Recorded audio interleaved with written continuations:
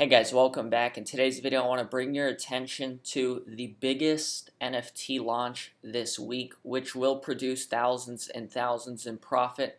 I want to show you my game plan as well as my thought process here on how I'm thinking about playing this, and then break it down to you so you can understand if this is something that you want to do.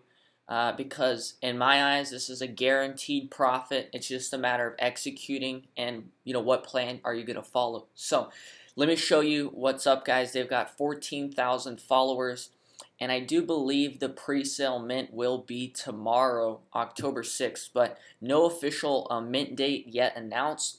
But you can see here if we go to NFTscoring.com and we go to trending this week, this is the number one trending uh, project this week. Now, I don't know what's wrong with the site here. It's not uh, letting me scroll up. But uh, yeah, you can see this is the number one trending uh, project this week. Uh, their followers are up 381% in the last seven days. Blah, blah, blah, whatever. Okay? So there's a lot of attention, there's a lot of hype for it. Uh, basically, this project is created by some well known artist, supposedly, who used to draw and make cartoons in the Hustler magazine. And so, obviously, you know that goes a long way in the NFT space because people can get behind and people can hype up the littlest things. So if you can attach any kind of credibility or repu- uh, reputability to your name, I mean, it just makes your project stand out like a champion, right? So basically, uh, this is kind of what they look like here. And uh, we do expect this to produce great profits. So let me show you, though, some of the downsides you have to understand here for this project if you're trying to get in and make a profit or just hold or maybe just like the art or whatever. I want to break down the most important thing on projects that have a lot of hype, momentum, and people behind it. Okay, and that is the gas fees. The gas fees will be expensive if you're trying to mint this on the public sale. So I want to give you a breakdown based on my experience, what you could be looking at here. So I want to start off with the example of the Galaxy Eggs, which was a project that launched a couple or a few weeks ago. Okay, so Galaxy Eggs uh, had about, I think, 25,000 followers going into their launch, and Galaxy Eggs uh, mint, uh, minting gas price and fees were about $2,500 to uh, $7,500 just for gas, okay, not even for the cost of the actual art itself. So just in gas, you're paying $7,500 here uh, on the upper end, depending on when you actually pull the trigger on that gas. Okay, but I want to break down to you why you shouldn't be afraid of this gas if you actually have the money. Okay, uh, so let's actually do the math here. Okay, so the Galaxy Eggs, and guys, it's been a few weeks since I uh, took part in this launch, so I'm trying to remember the exact numbers, but I believe to mint one single egg, it was about 0.08 uh, ETH. Okay, and I think you could mint about 12. I honestly don't remember. It's been a few weeks now, okay? So basically, you could mint 12 of these for 0.08. That would be a total cost of 0.96, guys.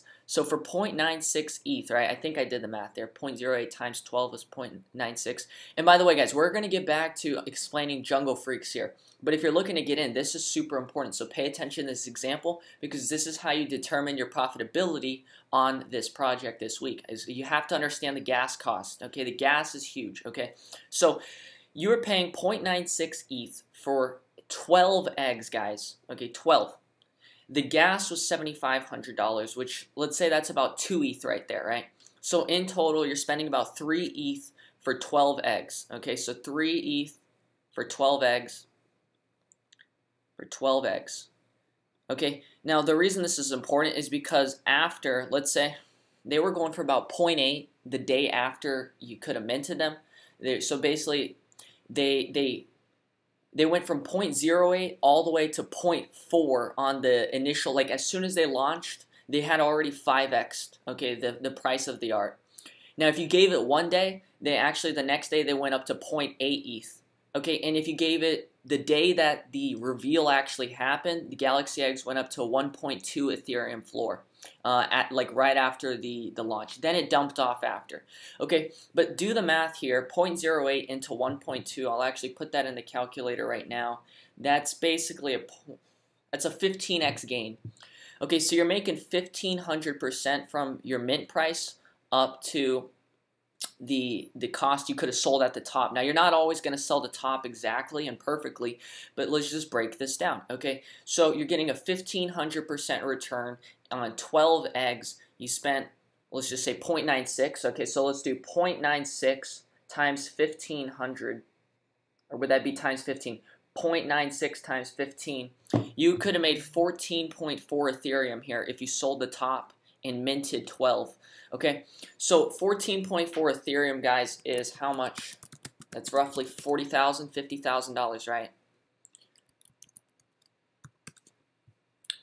So that's about $50,000 right there, okay? So understand that despite paying, let's say you spent $7,500 in gas and you spent 0.96 Ethereum on the eggs, that's overall, that's about $11,000 you spent, okay? But it still ends up being extremely profitable if you sold it at 1.2 you're making $50,000. You see what I mean? So there are projects where actually paying these ridiculous gas fees, it actually makes sense depending on the quantity that you can mint.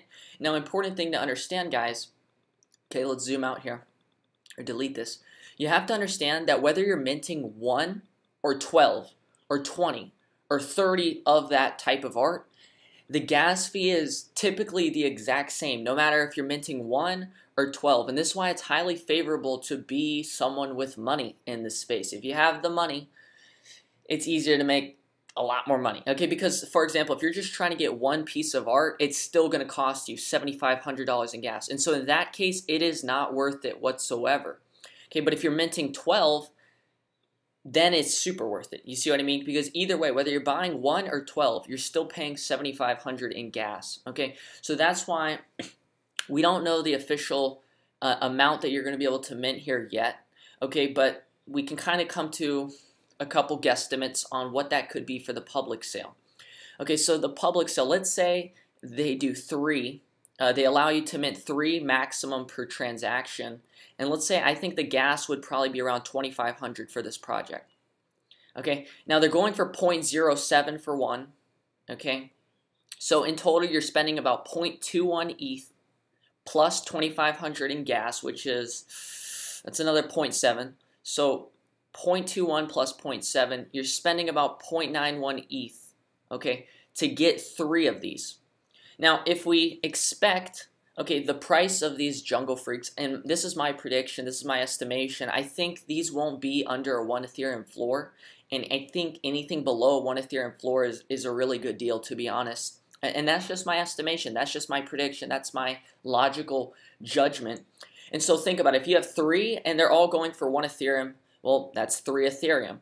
And in total, you put 0.91 into the trade, that's a 3x right there. Okay, now let's say actually these blow our expectations out of the water. Let's say these are actually going for 2 Ethereum floor. Well, then that would be 6 Ethereum because you've got 3 times 2, 6 Ethereum. That's a 6x right there. Okay, so if gas is around 2500 like I expect it to be, and you can mint around 3, I'm expecting at least a 300 to a 600% return on this trade. So that's kind of my breakdown of what I'm expecting here for the Jungle Freaks. Um, but guys, this is where the power of NFTs is just absolutely incredible.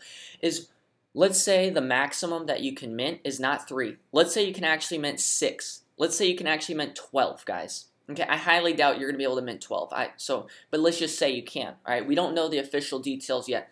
But remember, if you're doing 12 for remember the cost is 0.07. I suck at math, but let's just say what is that like 0.8 or something? 0.9. I don't know, guys. I suck. I can't do math. So let's say that's 0.8 Ethereum plus 2,500 in gas. That's around what? Five grand invested into the trade. So 5K. But imagine you have 12 of these guys, okay, and they sell for one Ethereum each. Well, you're getting 12 Ethereum out. Okay, so in total, you're investing about 1.5 Ethereum, right? $5,000 is worth 1.5 Ethereum roughly. So you're turning 1.5 Ethereum into 12 Ethereum. That's a 10x if you're allowed to mint 12. Okay, so even though you have to pay these ridiculous gas fees, it's still extremely profitable. Okay, and that's what you have to do. Before these launches come out, you have to do the math and you have to break it down. So if we commit three, now we're looking at a three to 6x profit. If we commit six, actually, right, let's do the math here. Six times 0.07, that's 0.42 ETH plus the gas, 2500, that's another 0.5 I mean, that's what, around one Ethereum you'd be invested into this trade, right? Well, if all six of these jungle freaks go to a one Ethereum floor, that's going to be six Ethereum out. That's a 6x right there, okay? So right here, we're expecting a 3 to a 6x. Here, you're expecting a 6 to a 12x. And here, you're expecting what? What is this, guys? I forgot. But yeah, you get the point. Right? So depending on the quantity you'll be able to mint per transaction is going to greatly affect your profitability here. So these are kind of the rundowns I've went through in my mind getting prepared for the public mint here. Okay, now actually, if you didn't know, you can get whitelisted, okay, which means you're going to be able to get access before the public sale. Now, the reason the gas fees are so high during a public sale is because the blockchain can only handle so many transactions at once, right? So if you got 10,000 of these guys and 50,000 people are trying to process them at once, obviously there's a war on who's going to get it, right? Because there's 50,000 people who want it and there's only 10,000. So that's why the gas prices shoot higher because there's a limited amount of transactions that can go on a block. And so that's why you see the gas prices shoot higher. And this is your actually your advantage is because most people can't afford $2,500 gas. If you can, you make a lot of money. You see what I mean? And so that's why it really pays to do the math in advance. And if you do the math in advance, break these things down, you're going to understand your profitability and what gas you're willing to pay for, right? If the gas is actually double that, then that means your your your X is here, right? Instead of you know 6xing you to be 3xing, right? So keep that in mind. So I am expecting these to get to at least a one Ethereum floor. And that's kind of my breakdown mathematically here on the profits you should be expecting. Nothing is guaranteed. That's just my logical judgment and assumption here. And so that's how I'm looking to play it. Whether it's 3 to mint, 6 to mint, 12 to mint, if the gas is around 2500 or less, I think it's going to be a really profitable opportunity. And remember, the reason this is so profitable is because most people can't afford that gas, and so as long as you can afford that gas, you're usually putting yourself in a really good situation. Now, let's talk about another strategy. Let's say you can't afford this gas right here. Okay, what's another strategy? Well, another strategy is when these projects initially get launched, there's going to be people who are flipping right away. So let's say some guy is he's at a 2x, right? We just broke this down. We think it's going to be a 3 to a 6x play here at least. Okay, but let's say some guy sees he's at a 2x profit. So let's say he he sells it at like maybe 0.4 ETH okay, right after the mint. So he got it for 0.07, but remember he paid gas, so really it's only like a 2x here.